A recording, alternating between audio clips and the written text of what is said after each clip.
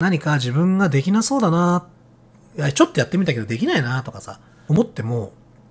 その時の経験があるから、いや、これはただ単にトンネルが長えだけなんだなって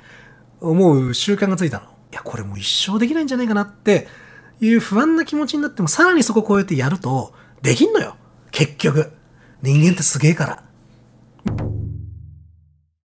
単発一確認を習得したくて練習しているのですが、18フレですらなかなかうまくいきません。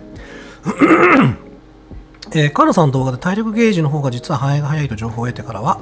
体力ゲージを見ているのですが、それでもダメです。これまで一確認をしてきていない人が確認を習得する流れとして、何か練習方法やコツなどはあるのあるでしょうか？それともひたすら練習あるのみでしょうか？ちなみに今覚えようとしているのは、えー、竜の前台キックヒット確認 OD 空中竜巻です。なるほど。うん。えーと、そうだな。あー、でもこれ、これ、これな。いい話しちゃうな。どうしようかな。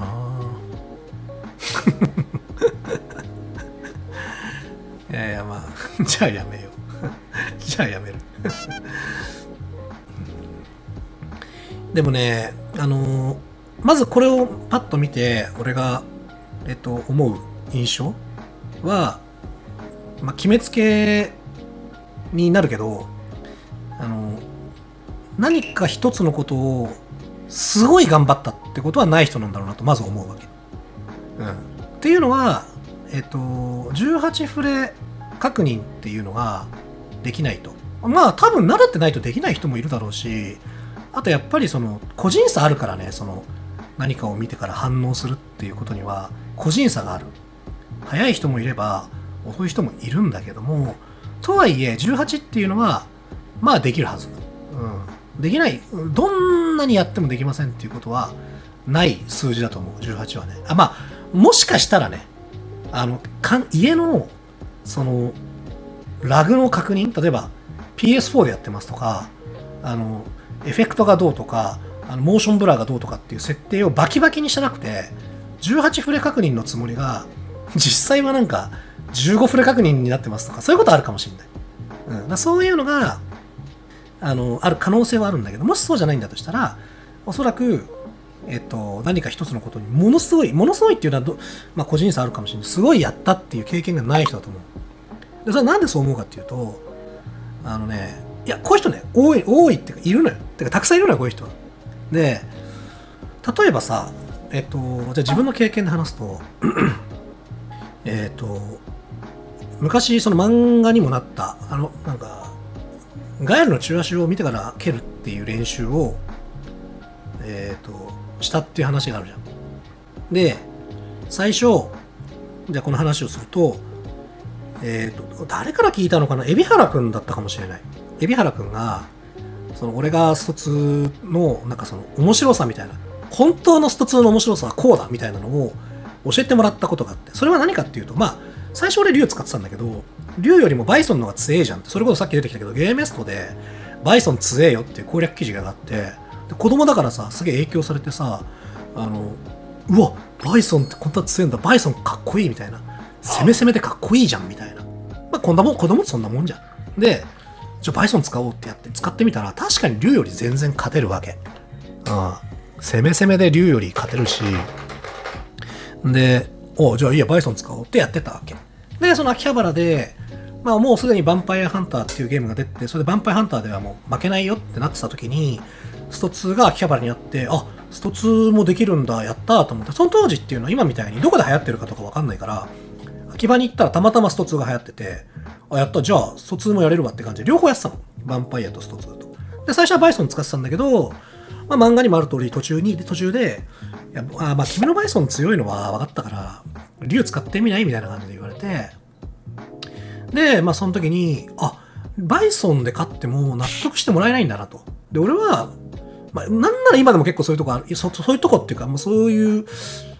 感覚がかなり強い方なんだけど、相手が納得してないのに勝っても意味なくねっていうのがちょっとあるわけ。そう。で、だからバイソンだとこの人たちは負けだと思わないんだなって思ったから、竜を使い始めたの。で、いざ竜を使い始めてみたら、竜で勝とうとすると求められるスキルがいっぱいあるわけ。対空昇竜出さなきゃいけない、飛び道具の打ち方も上手くなきゃいけない、そして何より地上戦ってものが存在したの。竜には。まあ本当はね、X の竜ってかなり波動拳が強いから、まあ、剣とかの方がよりそこが重要になるんだけど、まあまあ、ただ、剣だとね、ちょっとあまりにも苦しいゲームだから、まあ竜でやって。バイソンってのは地上戦ないんですよ。もう、ためから突っ込んでって、立ち台パンとかシャームチューマ振るだけなの。でも竜には地上戦があったんでね、下がったり踏み込んだり、なんだり何すかしたりみたいな。で、うわ、おもろみたいな。全然こっちの方がおもろいじゃんみたいな。まあ、キャラがバイソンの方が強いってのは分かってたけど、全然こっちの方がおもろいじゃんってなったんだけど、えっと、まあそんな感じでやってた時に、次に、竜だとガイル戦が面白いよみたいなとか、あとは自分でガイル使ってみるの面白いよみたいな感じに、今度はそのスト2のガイルの面白さみたいなものに気づくわけよ。バイソンから竜、竜からガイルみたいな。で、まあ竜とガイル両方使ってて、あ、俺ガイルって何が面白いか分かんなかった。いや、ずっとしゃがんで飛び道具打ってるだけじゃんと思ってたけど、なんかちゃんと教わるとこんなに深いんだみたいな、面白いんだってなって。まあ、特に X のガイルは、あの、ガイル市場でも、まあ、めちゃくちゃ完成度が高いから、まあ、それもあったんだけどね、とにかく面白いと思って、で、やってるうちに、その、ガイルの中足って、これって、まあ、すごい強いんだけど、あの、戻りを実は空振りを蹴れるんだよねっていうことをエピハル君から教わるわけ。で、え？いや、無理でしょ？無理無理って思ったの。だってあんなから隙ないのに、シャッシャッシャッシャッって空振りするのに、か戻り蹴るとか無理でしょみたいな。嘘でしょみたいな。思うんだけど、いやー、その校長をやってたんだよねみたいな。校長残儀校長っていう人名前の残儀の使える人がやってたって言って。で、実際練習してみるんだけど、全然できないわけ。いや、これ絶対嘘でしょみたいな。絶対嘘でしょと思って。でも、やってたって言われたらさ、それをさ、そんなの嘘だよって否定するとさ、なんか永久にその人を超えられないじゃん。もし本当にその人がやれる人だったらの話なんだけどね。で、まあ、まだ若かったしさ、まあ、ロマンあるなと思って俺も一生懸命練習して、でまあその友達にそのコントローラーとお前適当にそのしゃがんでガイル調子押しとけよみたいななんか感じでなんかやってたよ。で、それでも全然できなくて、でもある日ひらめいたんだよね。これもし、そのスト2ターボのターボ10ってのがあったの。まあ、ゲームスピードがむちゃくちゃ速いやつで、目を鳴らして、その後に普通のスピードで中足をしたら、蹴れんじゃねって思ったの。もうこれ子供の思いつきだよ。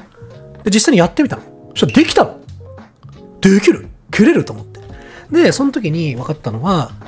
能力としてはできるんだ。その一瞬、そのめちゃくちゃ速いスピードに慣れて、その中足を蹴れるようになって、で、次の日普通にやってみたらまたできなくなってたんだけど、でも、能力として俺はやることができるんだってことが、その時分かったわけ。で、そっから一生懸命練習し始めて、で、ついには、えっ、と、ガイルの中足蹴れるようになったわけ。うん。で、まあ、それって一つのさ、すごい成功体験だよね。だってお手本ないんだよ。校長がやってたらしいっていう話は聞いたけど、あの、実際には見た、見たことない、俺は。海老原くんが言ってただけ。だし、昔の人って結構話盛るから、まあどうなのかなみたいな。たまたま蹴ってたのを、なんか蹴ってるって言ってんのかなとかさ、いろいろ考えたんだけど、でもまあ、実際自分ができるようになって、あ、本当に校長はこれやってたんだなってことに、が分かったんでね。で、あともう一つ、その、中足の練習をする前に、結構練習したのがあって、それは何かっていうと、えっ、と、あのね、ミイラさんって呼ばれてた、えっ、と、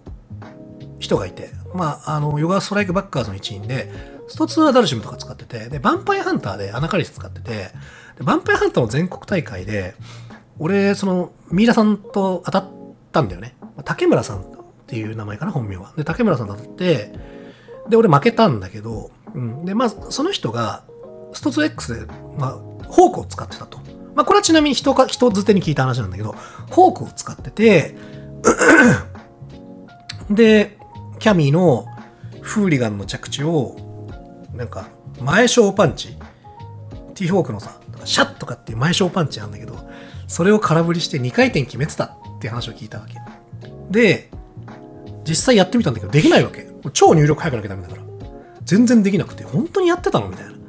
いや、もうじゃあやってたみたいな。で、それすげえっつって、それどうやってやるんですかって聞いたら、その竹村さんのミイラさんが、から返ってきた答えっていうのが、いや、自分を信じて練習するしかないですって 言われたらしいの。で、って言われたんだって、その人は笑い話。要は、要はその人はもうできなくてもいいやって思ってる人だから。でもそれ聞いた時に衝撃走って、自分を信じて練習するしかないってなんか、すげえ、なんかそんなこと考えて、今まで何かに取り組んだことないなっていうか、だ別にそのさ、試験勉強とかもさ、まあ、その簡単じゃん。要するに、成果が早いじゃん。その、暗記したらさ、点数は増えるしさ、自転車とかもさ、すぐ乗れるようになったしさ、泳ぎとかもさ、ちょっとずつ上手くなってくるじゃん。でもその T ホークのさ、小パンチ空振りして2回転とかさ、帰りのさ、中足の戻り蹴るとかってさ、成果がさ、よくわかんないのよ。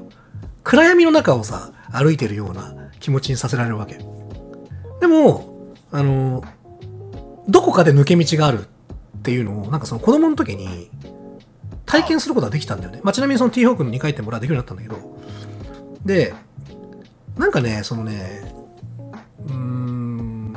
まあ、いろんな影響があるよ。例えばそのキャプテンを読んだとかさ、キャプテンを読んで、何かもう、その努力で自分の人生を変えようと思うと、こんなやんなきゃいけないんだみたいな。ちょっと受験勉強するくらいではなくて、その、本当にこんな苦しい思いをしないと自分の人生を変えるほどの、なんか成果って出ないんだな、みたいな。子供の時にちょっと勉強したんだよね。やるかやんないか別にして読んだっていうかさ、本で。で、なんか、あの、うちの親にもさ、あの、なんだっけな、えー、っと、あれ、えー、っとね、うちの親父がね、教えてくれたんだよな、なんだっけな。えっ、と、大石進っていた？あの、多分千葉周作とかの時代のなんか剣豪の話で、だかその人がなんか、あの、子供の時にはなんかすごい、子供の時っていうかなんかその、なんか最初はなんかその馬鹿にされてたんだけど、なんか月だけをすごい死ぬほど練習して、それでなんかめちゃくちゃ一発のというか、なんかすごいこう長いその市内を使って なんか江戸で無双したみたいななんかそんな話を聞かされてその代わりめちゃくちゃそのもう死ぬ思いでその月の練習したみたいな話を聞いてでなんかそういう時にあなんかやっぱりこうバカにされたりなんかそのなんかこの野郎なんかこうなんか見返してやるぞっていうのとそうやってこう一定期間こう人人が見えてないとこで2年とか3年とかやんなきゃダメなんだみたいなさそういうのな子供の時に結構なんかま、学んだんだよね。学んだというかなんかこう、うん。で、その、そういうのをこう経験してからは、何か自分ができなそうだな、いや、ちょっとやってみたけどできないなとかさ、あの、思っても、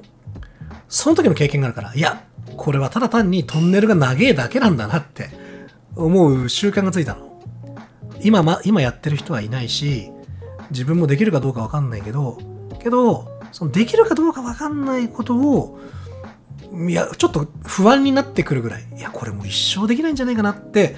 いう不安な気持ちになっても、さらにそこを超えてやると、できんのよ。結局。人間ってすげえから。もちろん空飛ぶとかできないよ。火吹くとかできないよ。波動拳打つとかできないよ。でもこういうことはね、いずれできるようになるのよ。人間。諦めなければ。で、おそらくこの人は、まあ、割とね、結構すぐ諦めてきたんじゃないかなと思う。だから、18フレの確認ですら不安になるわけ。できるのかなって。これがもし、どんなことでも、自分を信じて貫い、自分を信じて努力を続けた経験があれば、ああ、今できないだけだな。1ヶ月後か2ヶ月後か半年か1年後か3年後かわかんないけど、できるはずだなって思えるから。うん。だからね、まあ、コツっていうか、まあ、体力ゲージを見るとかは、まあ、一種のコツだけど、繰り返し繰り返しやってればね、できるようになる。うん、保証する。これは18フレ確認なんていうのは絶対できるようになる。そう。っていうことだね。だから一度そういう不安になるぐらいできないことをやりきってみると、なんかいい成功体験になるんじゃないかなと思うよ。ゲームでそんな成功体験できたらさ、最高じゃない？